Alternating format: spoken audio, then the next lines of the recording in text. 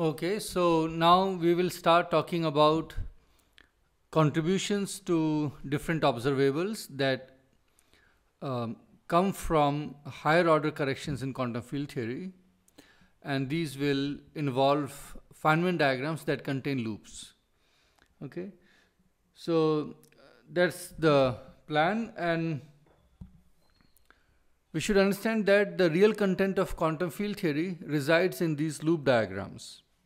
So let me first define what a loop diagram is.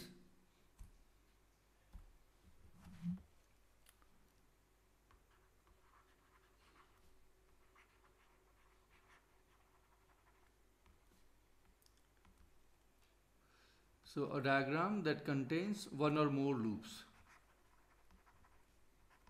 that contains one or more loops. We have seen examples of such diagrams. For example, if you are looking at a two-point function in phi-4 theory,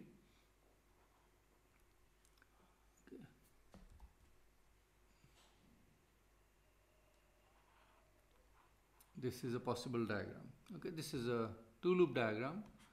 This is a one-loop diagram. And if you're looking at two-point functions, this is one of the contributions which is at one loop and so forth okay? So this is what we call a loop diagram and then we have something called tree diagram. Tree diagrams are those that do not contain loops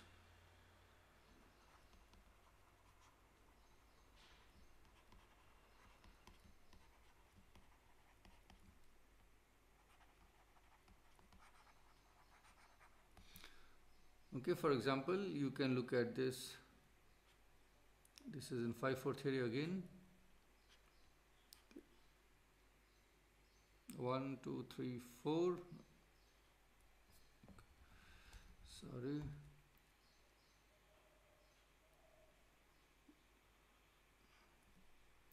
This is a tree diagram okay? And if you put more lines here it still remains a tree diagram. Okay so this is 1 2 3 4 5 6 7 8 okay this has eight external lines so it contributes to a Green's function with eight fields. And this is a tree diagram because it does not contain any loops. Okay? Now um, the reason I'm interested in loop diagrams is because um, if you are interested in some observable let's say cross section okay? And if you calculate um, cross section using only the lowest order diagrams then the uh, result that you get okay it is not um, going to match with experiments because there can be a big difference between um, this experimental uh, outcome and what you are predicting from theory, not because um, your theory is not describing your, your experimental result correctly, meaning you do have a right theory, but because you have not included quantum field theoretic corrections into your calculation. Okay, I will talk more about this later and I will show you also the example of Higgs production where it is very much clear that if we had not uh, gone to higher orders in the calculation, okay, then we would have easily misunderstood the two photon peak that was found in that was observed in the experiment okay? People would have wrongly concluded that uh, what we are seeing in, in experiment is some new physics signal and not standard model physics.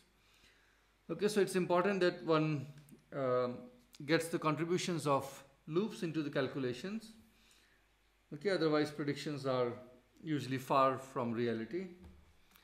There is also another reason that if you um, do not consider loops, then some processes will appear to be impossible, which in principle, which in fact can occur. For example, if you look at scattering of two photons, we have not done this, we have done only scalar theory, but I am giving an example. So if you look at scattering of two photons, these are represented by these wavy lines in literature.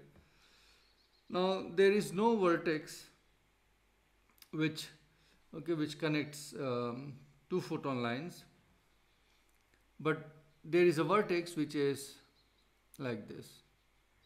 So this is some fermionic line and that's a photon. Okay, that vertex exists in QED, quantum electrodynamics.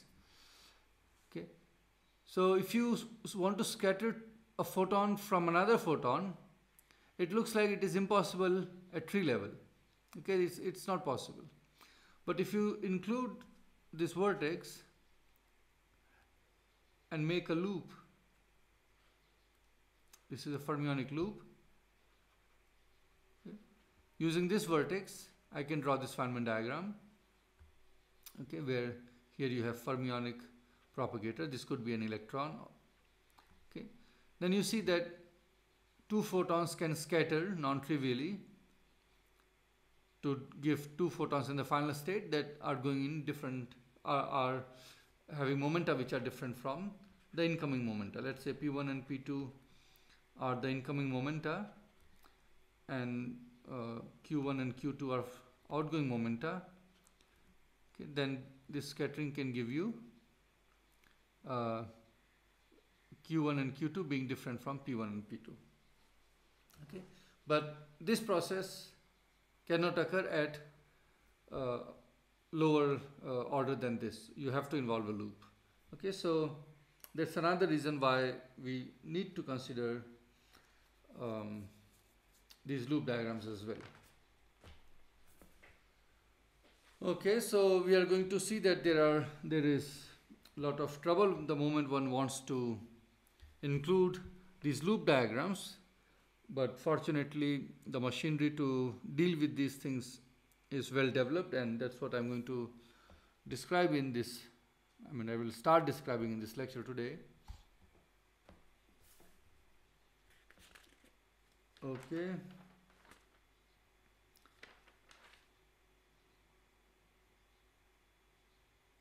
okay so let's um, look at one example.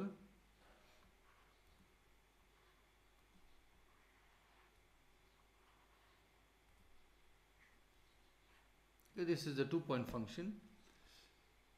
Let's represent the loop momentum by L. We have already learned in the first course that when you have loops the number of uh, the number of loop momenta running in the loops is equal to the number of loops so L is undetermined it is not fixed by the external momenta okay it remains undetermined and we have to integrate over it so if P1 and P2 enter, okay, they enter it at this vertex as P1 plus P2. Okay, that is what enters here. Okay, and L goes out in this direction, and here you will have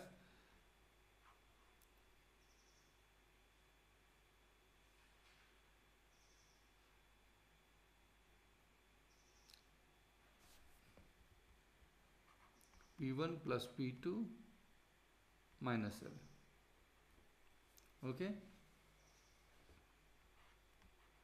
So if you take it backwards it will be in this direction minus p1 minus p2 plus l and this will be minus l so that at this vertex the sum of all momenta entering is equal to 0 okay?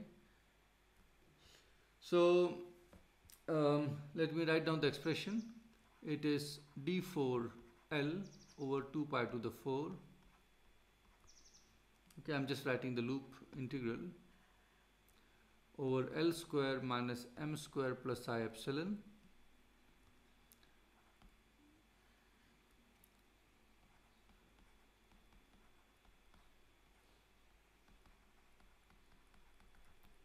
Okay and then we have to do this loop integral where d4l is dl0 and dl1 dl2 dl3 okay and you see that the poles if if you do not take into account this i epsilon, then you get poles at uh, poles on the real axis. So you should view this as an integral over L0 in the complex plane. Okay, and here this is L0 square. So L0 square minus L square minus M square. Okay, so you see that when L0 is L square plus M square plus minus square root of this, then you have a pole on the real axis. Okay, and the integration contour also goes from uh, minus infinity to uh, plus infinity along the real axis. So this is the integration contour. And then you have these poles sitting on the contour so that the integral is ill-defined. It is not defined if you have poles sitting on the contour. But then you are safe because you have I epsilon. Okay, that takes the poles off, off the contour. Okay, and we are going to see how exactly these uh, I epsilons uh, help us to make these, help us in having these integrals well defined. Okay, so that's what I'm going to show you. So let's take a, a generic case, not generally, not necessarily a two point, sorry, a, uh, a four point function, but any um, any one loop diagram of this kind. So I'll just um, so here you have even if you have several lines okay depending on whatever theory you are looking at so here one two three four five six so you have a six point vertex. So clearly we are looking at a theory in which you have phi to the 6 um, term in the Lagrangian. Okay. Okay and here let's say phi 4 so you have both such vertices. And if you have momentum p1 p2 p3 p4 here then as I said in this case the the momentum that enters in here is the sum of all these. So let me define p to be okay so all these sum enters and similarly here you will have uh, the corresponding uh, sum. But anyway whatever goes in has to come out. So I will instead of putting all these external legs I will draw this simply as okay? But it, this does not necessarily mean that I'm looking at a phi cube theory. It could be coming from phi cube theory but this line stands for all these lines and carries the momentum p okay which is sum over pi. And if this is L then it says this one is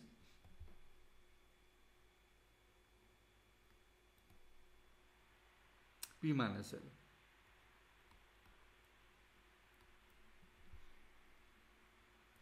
Okay, so this is the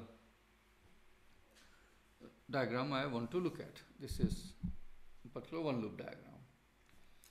Now if you look at this, the corresponding integral is already I have written here. Let me write it on the next page.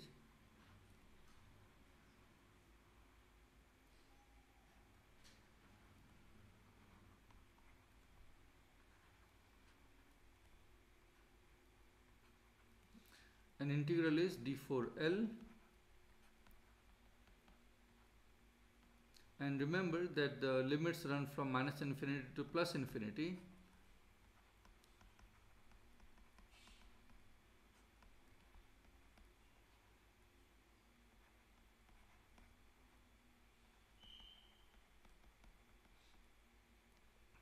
Okay. Now I want to look at this integral and um, pay attention to those configuration configurations for which L0, L1, L2 and L3 they are all large.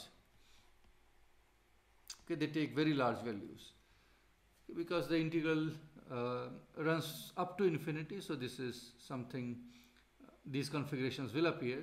And I also want to look at those configurations or I want to add a qualification that L square is also large. You see, because we are in Minkowskian space, L square is L0 square minus L vector square. I will put it like this L1. So instead of this, I'll put here.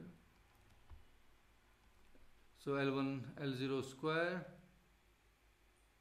minus L1 square minus L2 square minus L3 square. So even if all these components are large, L0, L1, L2 and L3, it's possible that the difference, uh, this difference is not large. Okay, so it's possible that L square is not large, but I'm looking at, I want to look at those configurations for which L square is also large. In that case, I want to know the behavior of this integral. How does it behave when all the components are large such that L square is also large? So in that case, this m square is irrelevant. This i epsilon is also irrelevant. Okay.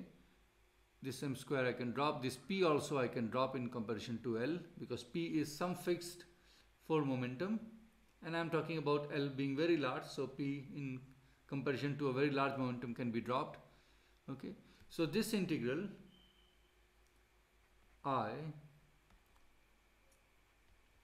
behaves as d4L 1 over L square times 1 over L square. Okay? Which is so you do do the angular integrals. Okay I'm being very uh, not being very careful right now but all I'm doing is counting powers of L so this is um, dl L cube. Okay that's d4L and then you have 1 over L power 4 okay, which is dl over L. Okay and I'm interested in only the upper limit infinity. So to see clearly how things behave let me put a cutoff lambda. And then I should take lambda to infinity when I take lambda to infinity I am looking at again this integral in the uh, large momentum limit so how does this behave? dl over L is log of lambda, uh, log of L and if I put the upper limit it gives you log of lambda. Okay, I'm not worried about what is on the lower limit because I'm not evaluating this integral. All I'm doing is just trying to figure out the way this integral behaves in large limit, large, uh, in the limit of large L.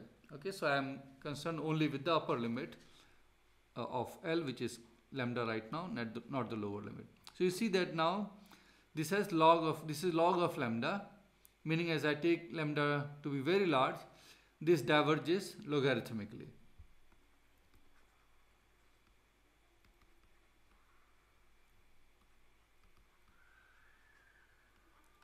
So we have a logarithmic divergence. Okay, so this integral is divergent and such divergences are called ultraviolet divergences.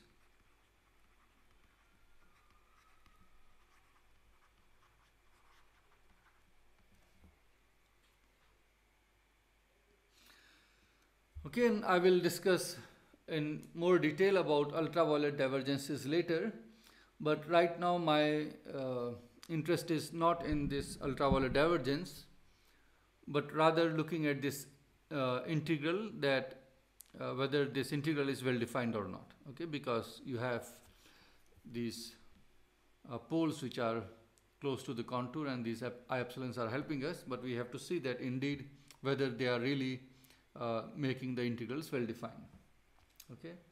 So what I'll do is I will not consider this integral because this is ultraviolet divergent but I will uh, look at an integral which has the same propagators, so everything remains the same, but I change the d4l to d2l. So I go to a lower dimension instead of working in four dimensions. I will work in two dimensions. Okay. Then this d4l gets replaced by d2l. And this is helpful because as far as this divergence is concerned, this goes away. So you see here the power counting was that you have 4 powers of L in the numerator, 4 powers of L in the denominator and that gives you a logarithmic divergence. So if I have only d2L here, it will be 2 powers in the numerator and 4 powers in the denominator and that is convergent. Okay, so that integral will converge for large lambda. Okay, so I will get rid of ultraviolet divergences and I can then focus on the, the issues that I am interested in. So that's what I'm going to do. So I will define a new integral i tilde okay which is d to L, L is for loop momentum 2 pi square. I have also changed this factor 2 pi 2 pi to the 4 to 2 pi to the 2 okay? And 1 over L square minus M square plus I epsilon times I have dropped the factors of I. I should have kept actually okay let's drop it. Let's drop them from here as well.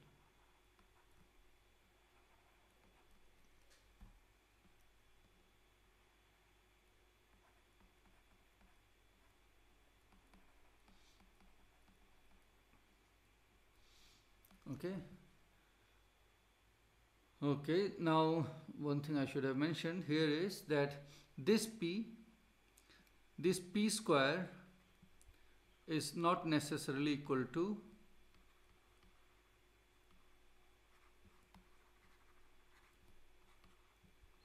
m square. Okay if it was uh, a particle then um, if p square was on shell momentum then it would have been equal to m square the p square. But here p is sum of all these momenta which let's say they are on shell so p1 square is m square p2 square is m square and so forth then p1 plus p2 plus p3 plus p4 that's sum that's uh, square of the sum will not necessarily be equal to m square. So you don't have that condition.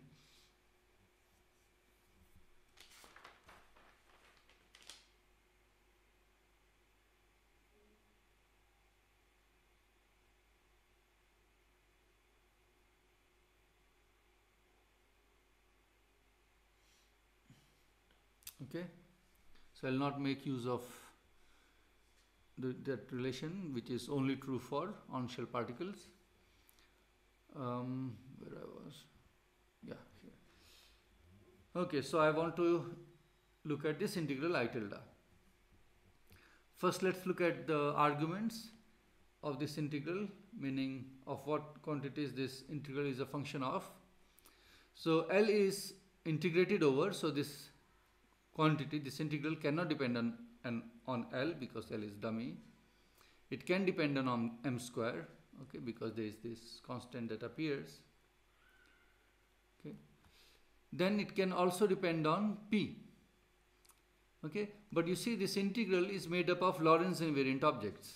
L square is Lorentz invariant, m square is Lorentz invariant, L minus P square is Lorentz invariant, d4L or d2L if it was d4L that would have been Lorentz invariant if it is two dimensional space this is also Lorentz invariant so this integral is only a function of the vector p okay?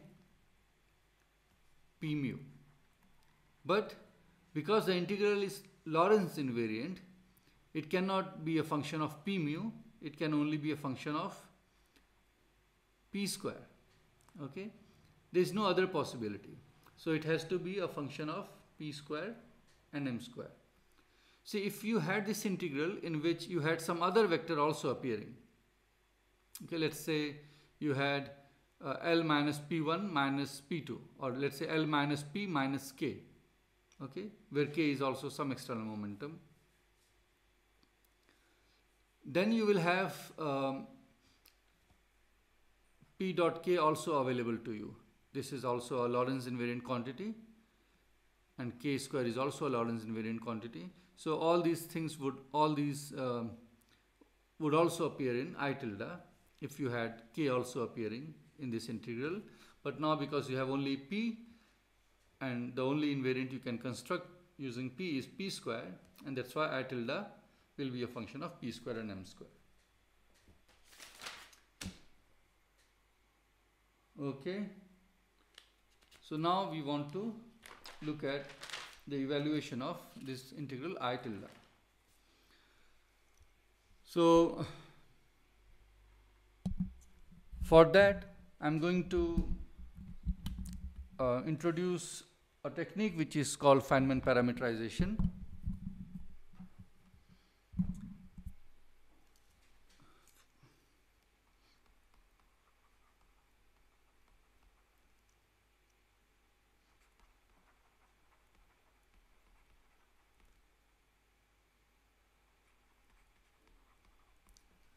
So if you have 1 over a1 times 1 over a2 okay where for here for example in our present case a1 is l square minus m square plus i epsilon and a2 is l minus p square minus m square plus i epsilon. Okay. So the technique is you can combine these a1 and a2 like this. So we introduce a parameter called Feynman parameter dx and the integral runs from 0 to 1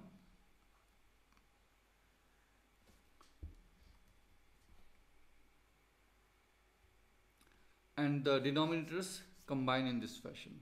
X a1 plus 1 minus x a2 and here you will have a square. You have a1 a2 so two denominators. So there is a square here. Okay and I will um, uh, encourage you to prove this relation that this is indeed true. But I will um, use uh, I will just assume that this is to be true and I will work with it. Okay so let's look at this integral now. So a1 I define to be L square minus m square plus i epsilon. And a2 to be L minus p square minus m square plus epsilon. So the denominator is x a1 plus 1 minus x a2 okay and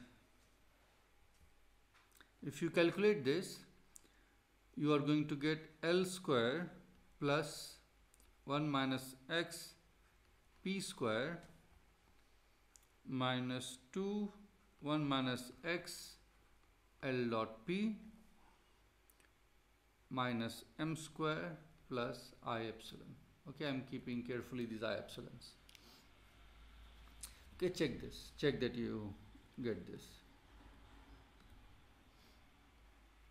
That's an exercise. Now, what I want to do is I want to complete the square for L. So here you have a linear term in L. Okay, that's a quadratic term. So I want to complete the square. So let me write down the following. I look, I'm looking at this one and this one right now. So I, I write this. I write L mu. Okay, L mu square. L mu L mu will be L square. So that will generate this term. And here you have minus 1 minus x p mu. Okay? So when I square this it generates L square which is here. It generates a, square of this which I should subtract. So it is 1 minus x square p square. And then it generates the um, product of these two terms with a factor of 2 which is what you have here right minus 2 1 minus x L mu P mu which is L dot P. So that is this term and I have removed the constant term. Now let's include this one. This is this Okay, so I have completed the square for L. Okay, which is same as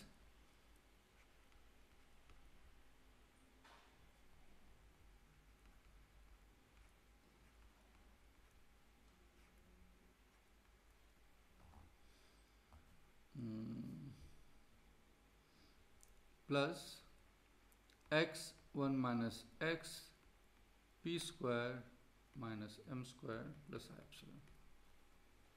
Okay, so this is what now sits in the denominator. Okay, so what I will do now is define k mu to be L mu minus 1 minus x p mu. Okay, so what do we have then? We have d2k is equal to d2l. So I will now express i tilde in terms of the variable k mu rather than l mu.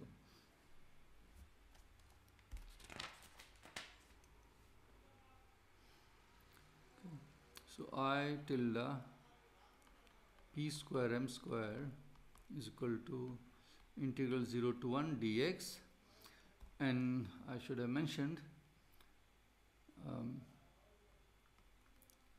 x is called Feynman parameter.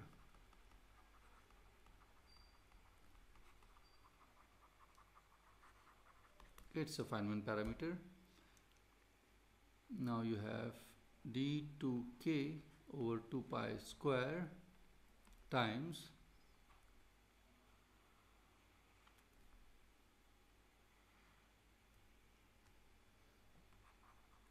k square k square because this has been defined as k so that's k square plus x 1 minus x p square minus m square plus i epsilon and then you have a square of this okay? That square comes because you have a square here okay? And that square here is really because you have two product of two uh, functions 1 over a1 and 1 over a2 that is why you get a square there. Okay. So now we are in this space two dimensional space k0 k1 okay. But I will um, keep writing this as vector k okay because you could have also instead of looking i tilde the one I am looking at you could have looked at d cube L for example. That would also have been convergent right? Because uh, if you have three powers here and four powers below that converges. So I am just uh, keeping the notation more general. Instead in fact I could have also looked at instead of d2l dnl where n is anything 2 3 or whatever so uh, I will just write k instead of k1. But you understand that in two dimensions, the time component is k0 and then you are left with only one component. Okay. But if you don't like what I am doing, you can you write only k1. So k square the denominator is k square k0 square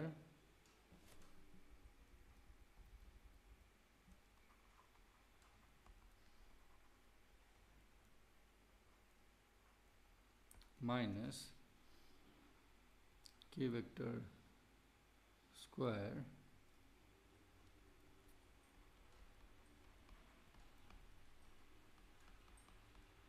okay. So where are the poles? So this this is an integral and the integral integrand has some poles okay? It, it vanishes at some values and we are asking what are those values at which this integrand vanishes and the poles are at and of course I am looking at things in k0 plane okay? So k0 is equal to plus minus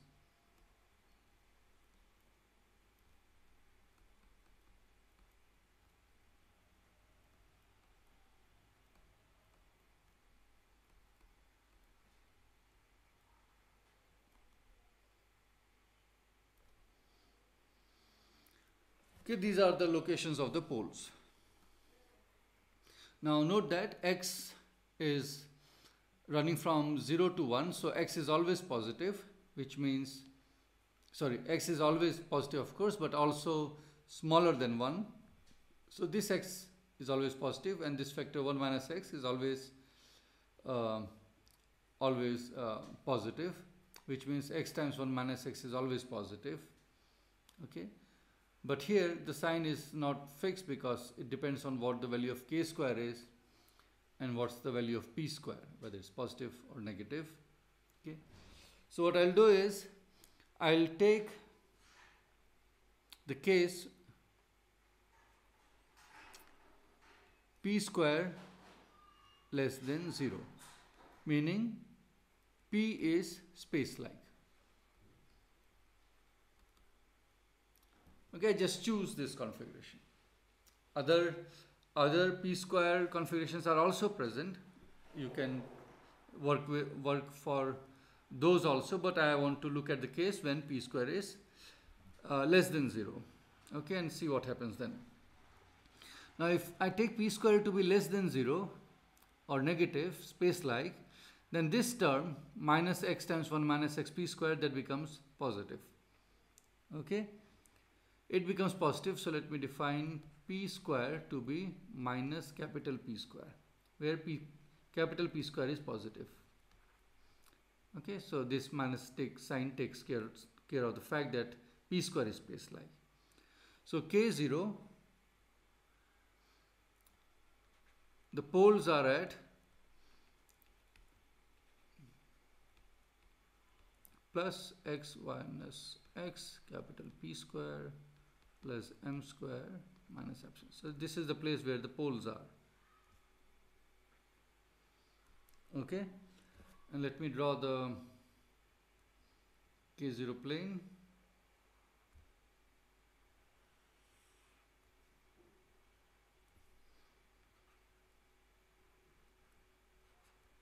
So where are the poles? On the plus side, you have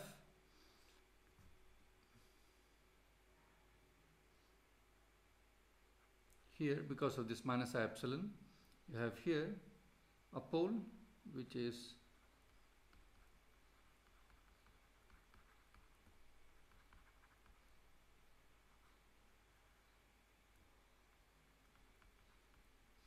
and on this side you have here because minus makes that i epsilon plus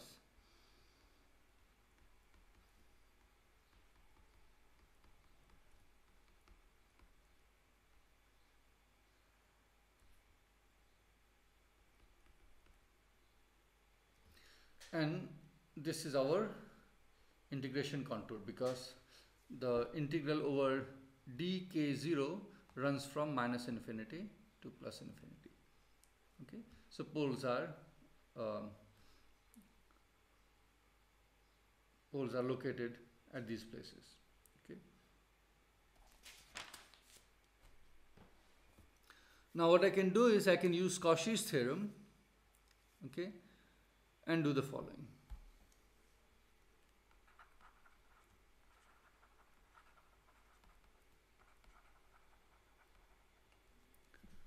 So you have this situation where the poles are located like this and the contour integration is this. Let me call the con integration contour as gamma. You can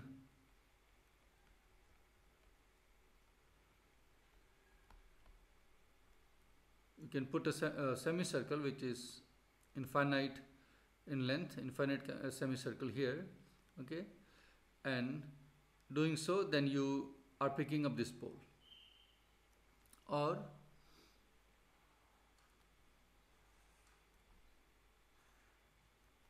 or if you were to close it below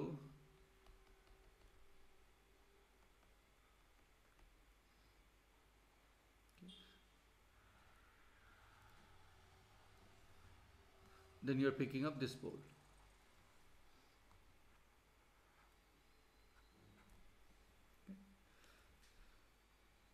Now uh, what I'll do is see this this contour this encloses only this pole not the other one. And similarly here this contour encloses only this pole not the other one. Okay? And if the contribution from semicircle goes to zero then you are allowed to uh, close the contour like this. Okay? So let's look at this one. Here I can do the following. What happened Oops.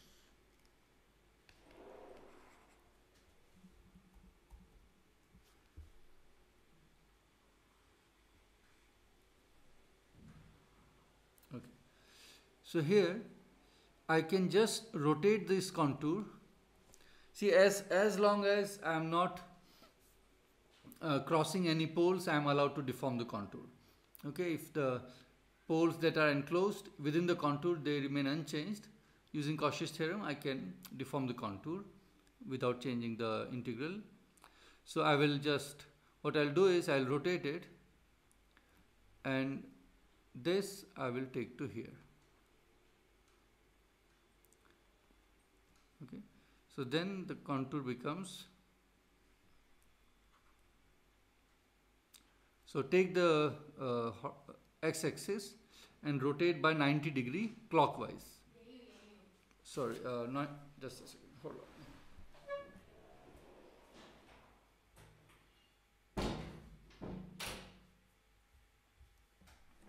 Yeah, you ro rotate it 90 degree counterclockwise.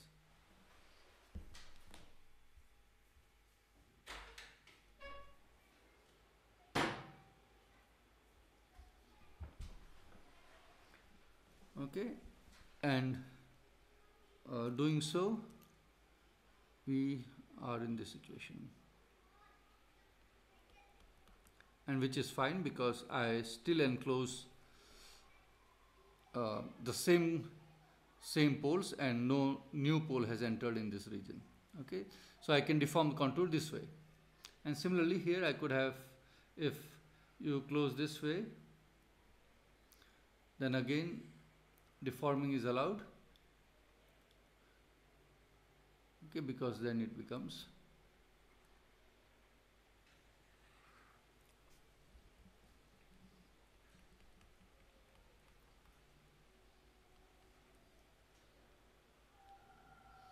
okay. So you see you enclose exactly the same poles and no new poles are in this region. So these deformations are allowed using Cauchy's theorem okay so instead of evaluating along the x along the real k0 axis I can evaluate along this imaginary k0 axis. Okay that is the uh, uh, this is what is called Wick rotation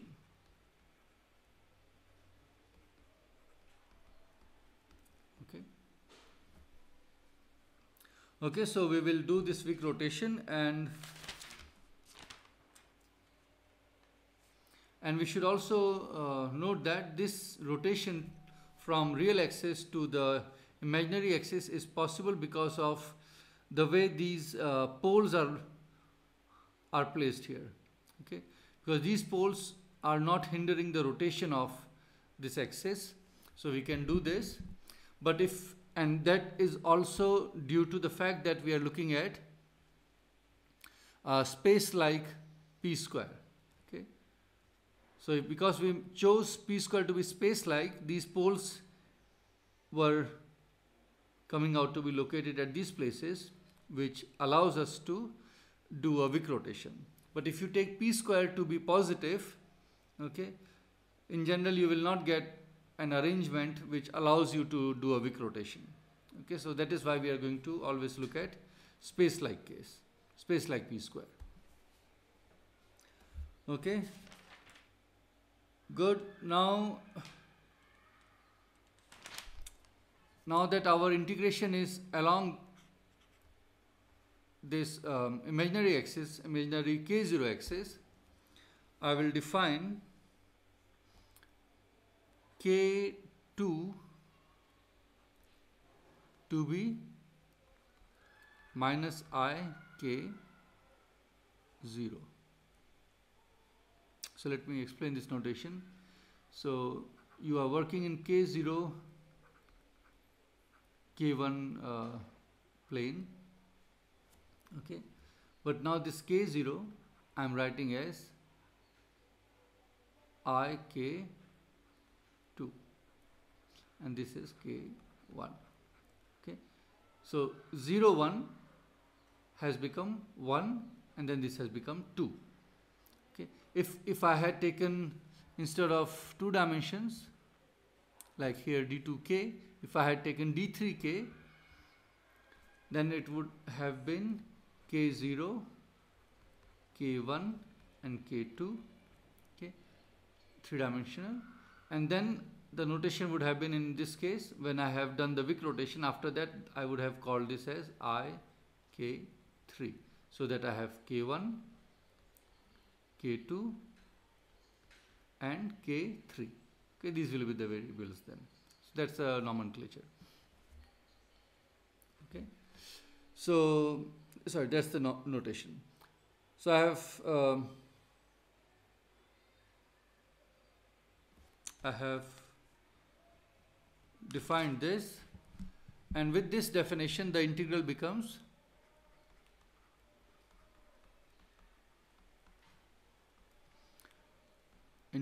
integral over the Feynman parameter x dk1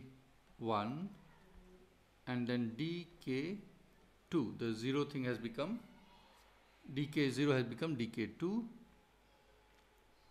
over 2 pi square and then you have 1 over minus 1 square times k1 square plus k2 square plus x1 minus x p square where capital P square is positive plus m square minus i epsilon square.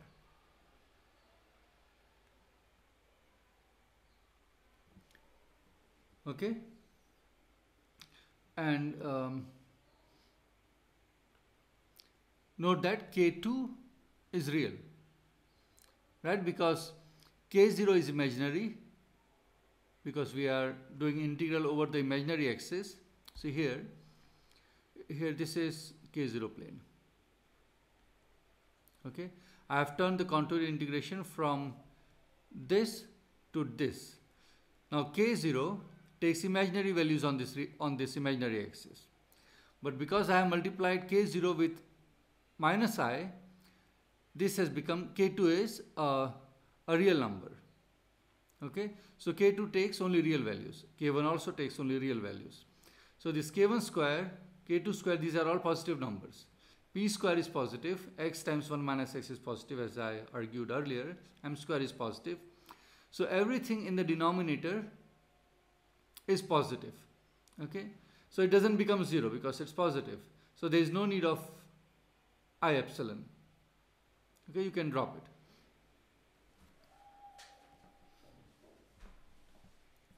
Okay and then of course you have this uh, this square also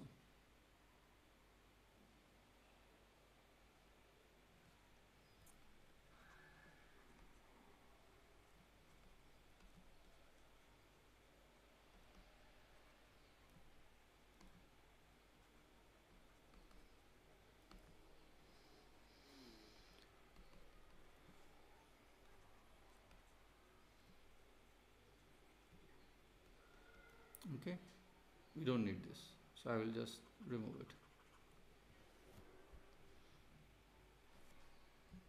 Okay. Okay good. So this is an integral that we need to do. We can do the angular integral first that's easy because your integrand does not depend on angles. It is just depending on k1 square plus k2 squared. So it's easy to uh, do the angular integral dk1 dk2 this is equal to see we are doing in this plane k1 k2 plane and this angular integral will give you 2 pi times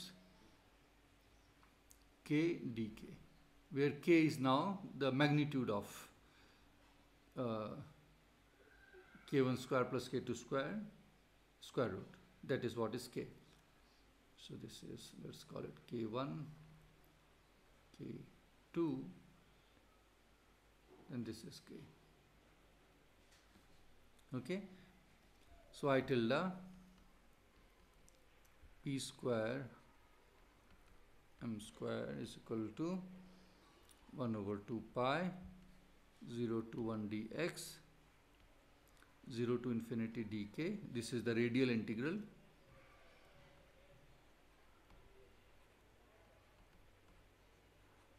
okay and in angular integral I have done I have to now do the radial integral okay?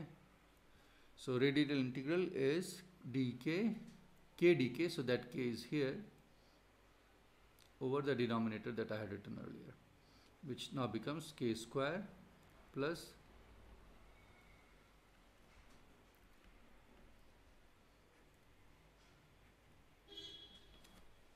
okay this is what you have now if you integrate this, you'll get the following.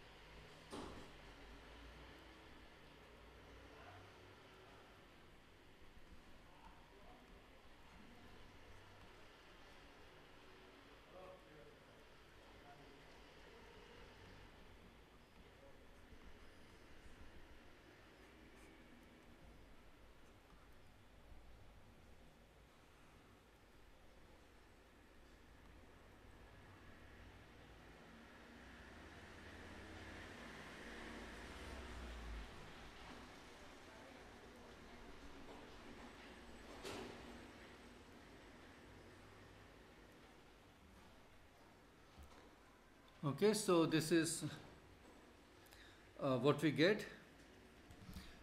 And we see that this is because you see p square is positive m square is positive. So what you have in the square root is larger than 1 okay so subtraction from 1 will still give you something which is positive. So and denominator is also positive. So log of a positive number so that's positive. Here there is a square root of a positive object which is fine. So this is an analytic function of p square, okay, capital P square. Now I can anal analytically continue this to, uh, this is still for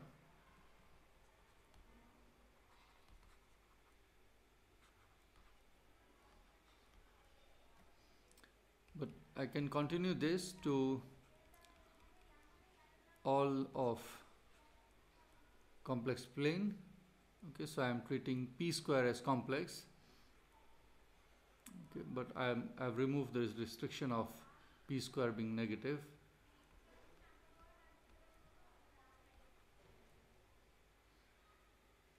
sorry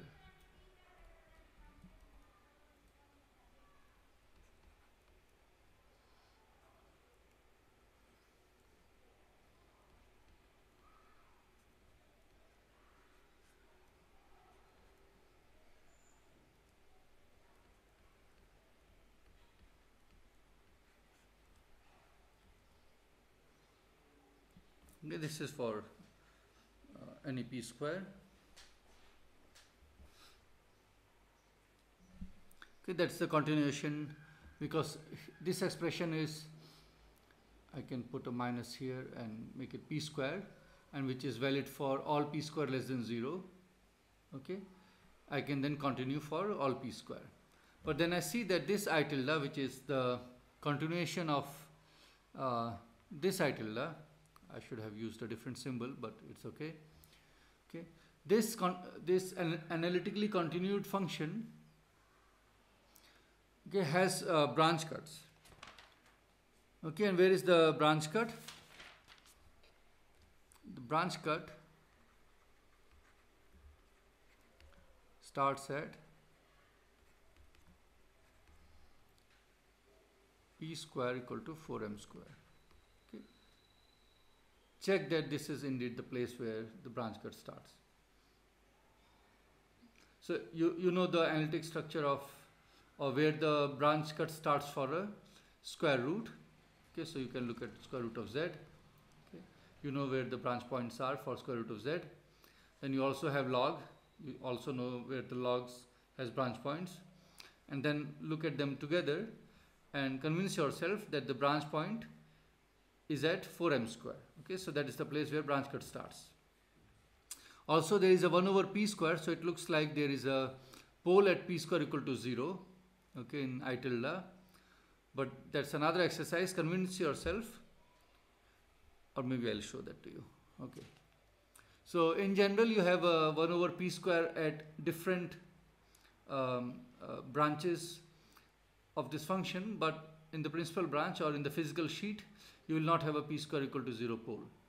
Okay, and that is easy to check. You can you can also analyze this function and then convince yourself that p square equal to 0 is not a pole when you are in the uh, physical sheet, but you can do it differently also. You can just look at i tilde and put p square equal to 0.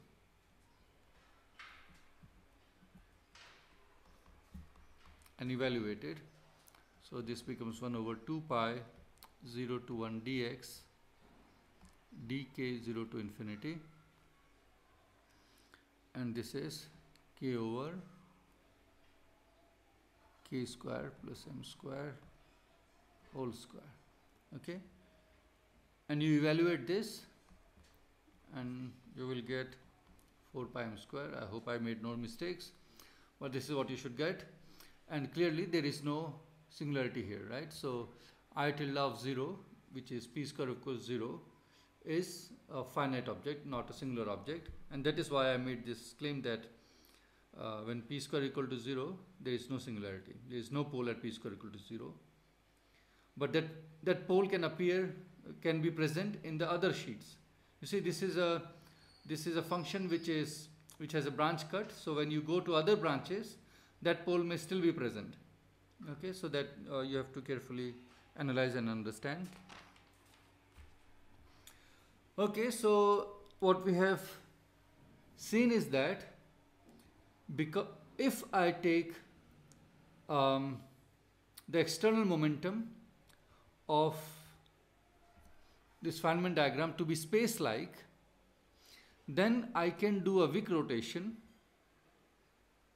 okay and the integral is clearly well defined because there are no poles on the integration contour.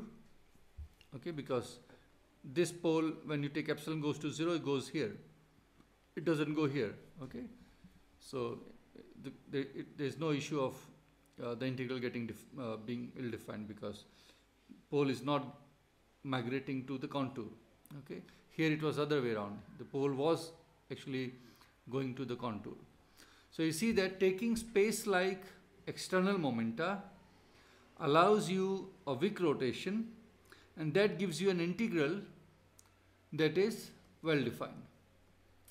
Okay, and then you can do a analytic continuation to other values of p square like here. Okay, and get the get the result for uh, physical momenta because your physical momenta if you if you are looking at a scattering process okay then these physical momenta will be time-like. Okay, they will not be uh, not be space-like. So you can do a continuation to those momenta after Wick rotation. Okay, so I will next analyze the um, Feynman integrals without restricting to one loop and I will arrive at the same conclu conclusion that this whatever procedure I have outlined uh, can be repeated there, which means that these Feynman integrals or these Green's functions are well defined okay for space like external momenta and then we can we can do analytic continuation. I'll make a side remark here. This p square equal to 4m square you have seen earlier at some point when we were talking about um, the spectral density. And I had given a remark that spectral density has a, a branch cut starting at uh, 4m square which is the threshold of uh, creating two particle states. So you see p square is 2m whole square. Okay. If, if the external energy is such that uh, if the external energy is such that it produces barely two particles at rest, then p square is 2m square. Okay, and this is the threshold of produce, producing two particles, and uh, this is what you're seeing uh, here that um, this uh, this two point function has a branch cut starting at 2m square. Okay? And it comes because of this integral. Here. So you see when this P is such that the energy which you pump in is, is, is just sufficient to produce two particles at rest, each having mass m. Then you have 2m, 2m square is 4m square and that is why you have a branch cut starting at 4m square. Okay, this is what we had uh, said earlier and here you now uh, see after an explicit integration. Okay, so we will uh, continue this discussion in the next video.